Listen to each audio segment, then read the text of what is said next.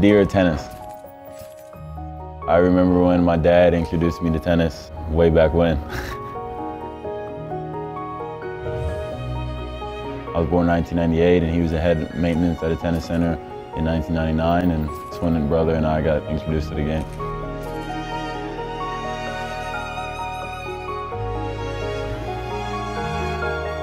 I fell in love with tennis when I understood the one-on-one -on -one competition. I really enjoy competing one-on-one. -on -one. I really enjoy the loss on me, the wins on me. And I like to feel fully in control and not have to worry about any teammate.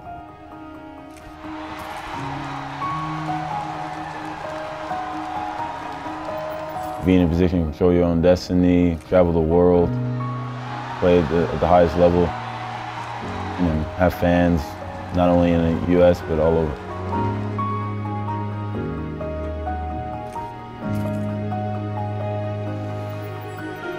I remember when I played my first ATP Tour match in Washington, D.C. in 2014. I was 16. I remember I lost to Evgeny Gonsilev.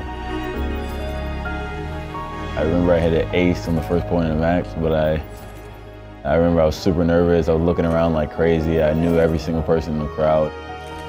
It was a night to remember. Came quite a far way since then. I've won a bunch of matches. I've became a very consistent player on the ATP and hopefully for many more years.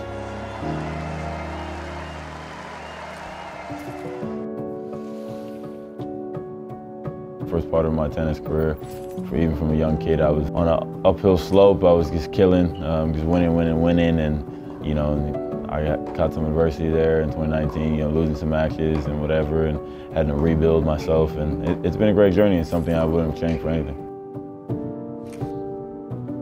Most memorable moments so far in tennis is, is two things. Beating Rafael Nadal at the US Open, fourth round, also getting in the semis and also cracking the top 10. I think those are a couple of my biggest milestones in my career.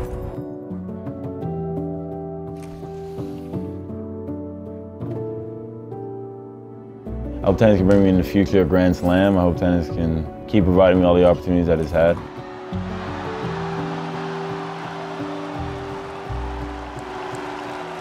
And putting smiles on people's faces. I think that's ultimately what I love to do. You know, make people feel good with Frank Tiafoe playing the game at a high level.